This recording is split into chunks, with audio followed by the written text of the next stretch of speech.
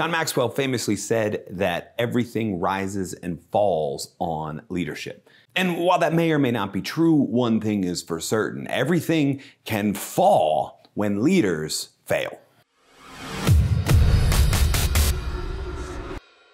Hey leader, David Burkus here, organizational psychologist and author of four best-selling books on helping leaders and teams do their best work ever. And you know, today we're going to talk about something that nobody really wants to discuss too often.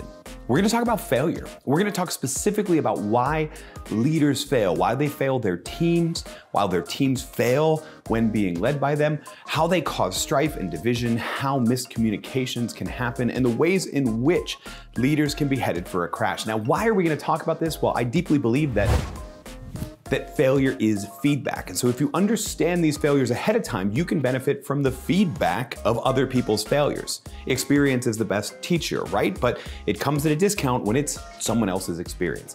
So in this episode, we're gonna talk about five ways leaders fail and what you can do to keep that from happening. So the first common failure among leaders is that they stop learning. Leaders just get to a certain position and stop learning. You know, it's, it's shocking when you look at the statistics about how few Americans or people in the West in general read a book in any given year. It's like one, one nonfiction book a year. So if you're reading two, by the way, that means you're an above average learning curve. And the weird thing about this is that so many leaders had to commit to a robust learning process in order to get into a leadership role. You know, whether the organization had a formal leadership development process or whether they had to make their own, craft their own through reading and taking courses and, and deconstructing failures that they had in a prior role and extracting lessons from that. And then often leaders get into the role they were looking for. And even if it's only temporary, they stop learning. But the thing about learning is that it's a powerful habit, but it's one that's really easy to fall behind in when you don't keep up with the habit of learning. Once you stop reading on a regular basis, once you stop taking a beginner's mindset, once you stop doing after action reviews after failures, it becomes really hard to pick that back up again. And that's why it's not leaders fail because they don't learn, it's because they stop learning. When they've stopped learning, they stop the habit and it becomes really hard to start it back up again. How do you avoid this? Be ahead of that curve. It only takes two books a year. Be ahead of that curve in what you're learning. Be consuming information that will help you grow as a leader and as a person. Not only information about the technical skills, the knowledge, skills, and abilities you need, the business, the industry that you're in, but the people skills, the empathetic skills. We're going to talk about that in a second, and the other skills you need be learning. Keep that habit of learning going, even if it's just a little bit, because keeping the habit going matters more for your long term learning than does a binge and purge cycle of learning. Don't stop learning. The second common way leaders fail is they lack empathy. See, I told you we are going to talk about that. What I mean here is that a lot of leaders get promoted into their first leadership role because they are great individual contributors. They're technicians. They have a set of technical skills or productive skills, or so often we see it in sales where they have a great set of sales skills. And so we reward them by giving them a leadership role. The problem is that when they're then leading the team, they often focus on trying to take the team to the same level of proficiency in those technical or productive skills that they had. And that's fine by itself. That's actually great. Like we want to have our best people teach the rest of our people. We want that. The problem is that people are different. The way you execute on a task is not the way other people in your team are going to want to execute on a task. The way you sold is not the way other people need to sell necessarily. And when leaders lack lack empathy, they don't change around their expectations and their training to adjust to the different personalities and backgrounds and preferences of their different people.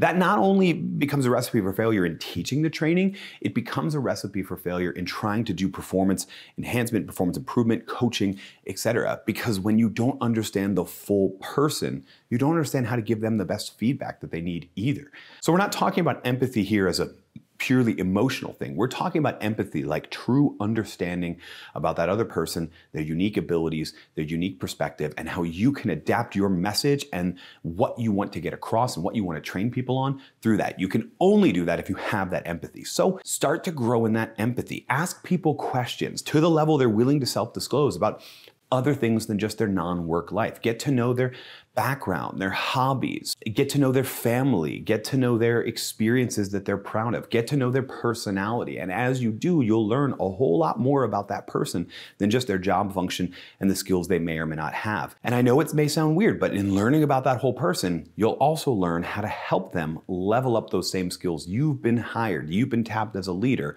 with helping them grow in. The third most common way that leaders fail is they lack integrity. I mean, this one's kind of obvious, right? I mean, we know, you know, the massive examples of Theranos, right? Elizabeth Holmes and, and WeWork and Adam Neumann. We, okay, we've seen massive integrity lacking failures, but let's be honest, leaders fail in small ways with little integrity lacks too right? When leaders enforce a different set of standards for one group of people and others, or enforce a set of standards with their team that they themselves are not accountable to, that is a lack of integrity. That is not applying a, a uniform standard. When leaders are willing to make exceptions to certain rules that really as an organization we can't make exceptions to. That does not, it, it, may seem in the moment like you're helping your team by bending the rules, but that does not strengthen your leadership. In fact, it diminishes it. It starts to remove some of your leadership credibility because if you're seen as being able to bend in some areas, other people who lack integrity more are going to try and get you to bend in further areas. And pretty soon you're headed for total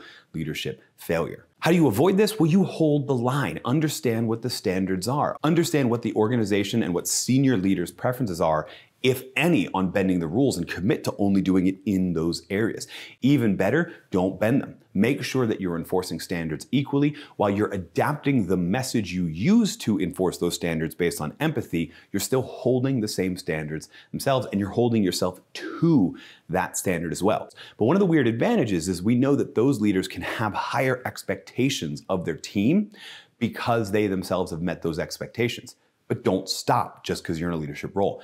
Keep holding yourself to the same standard as your team, and you'll keep your team from failing. The fourth common way that leaders fail, and this sort of goes along with the last one, is that they play favorites. Eh, okay, and let's just stop here for a second, because every leader is going to have an in group and an out group. We know this from decades of psychological research, leader member exchange theory, for example. Every leader is going to have certain people that they have a more trusted and tested relationship with than others. That's not what we're talking about here, right? You are going to click with certain people more than others. What we mean when we say play favorites is giving favorable tasks, giving favorable resources, giving favorable um, flexibility in schedules or bending of the rules to certain people because they're the people that you click with. Great leaders don't play favorites. They do know how to adjust how they enforce standards to uh, the different things they've learned about different people, but they don't play favorites. That's a recipe for failure. Why? Because as soon as people begin to feel dissatisfied. As soon as people feel that I put in this much effort and I'm only getting this result, and this person puts in less effort and is getting the same result, or puts in a same amount of effort and gets a better result from their leader, as soon as they feel that, they begin to get dissatisfied. And when they begin to get dissatisfied, they start looking outside of the team for new teams they can join, new ways they can feel fulfilled. They're less committed to the team. And that's not because of the person who got that favorable treatment. It's because of the leader that was willing to play favorites. So make sure your team knows what they can ask from you and what they can't ask from you. And those people that are in your in group, let's be honest about what you would really ask of them. What you would really ask of them is to hold them to maybe an even higher standard than the people you haven't earned the trust of yet. Just because you've earned the trust doesn't mean they have it easy. In fact, probably means the opposite. It means you're going to ask more of them as we bring up the others as well. So you might play a little bit of favorites in who you favor to take on a burden, but don't play favorites in who you favor to take that burden off of or lavish praise or rewards upon. Make sure you're playing that one quite equally so that your team stays committed to each other and not committed to just currying favor with you. And the last common leadership failure is that they don't prioritize. This one happens often in really successful teams. Here's what I mean by that, right? A lot of organizations say they have priorities, but let's be honest. If you have more than one, maybe three at the most, priority used to only be a singular word, and then we pluraled it. Not too long ago, we made it plural priorities. The brain, the team's brain can only really handle maybe one to three priorities, critical tasks, projects to keep focused on. The problem is that as you're successful, as you're moving the needle on that, as you're making progress on that, as you're completing projects under budget, then early, as you're uh, making more and more clients satisfied, as you're winning, people start to look to you to do more. they put more on your plate. They start to ask more of you. They start to ask more of the team. And what can happen? Well, very quickly, the tyranny of the urgent and the tyranny of the new can distract from those priorities. Don't be that way. Great leaders focus in and make sure the team focuses in on what those priorities are. And when new tasks and new demands come in, one of the first things they ask themselves is where does this fit in the ranking? Just because it's new doesn't mean it goes to the top or even the top three we need to make sure we know where it fits and what, if it comes to this, we need to give up lower down on that list, that ranking of priorities, what we need to give up in order to make room for this new thing,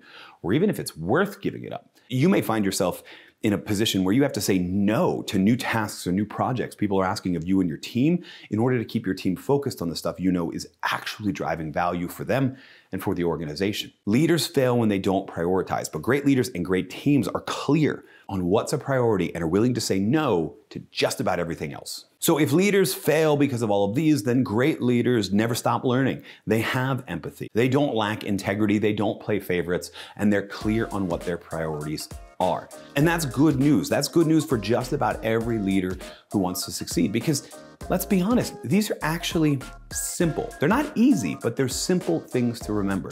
They're difficult to keep enforcing. It's hard to continue to learn. It's hard to avoid the human tendency to want to play favorites. But because they're simple, they are easier to keep top of mind for you as a leader and keep top of mind across your team. And if you do so, you're going to find your team shifting into one that's more and more successful. Yeah, people are going to want to add more to your plate when you do that, but you're going to prioritize. And as you do that, you'll shift your team to one with a greater culture. And as you do all of that, you'll become a better leader yourself and your team will be able to do their best work ever. Oh, and one more thing. This list of mistakes is common among all leaders, but if you're a new leader, there's a few more things you're gonna wanna look out for to make sure that you and your team are successful. So you're gonna check out this video here on common mistakes new leaders make. That one. You might wanna prioritize watching it.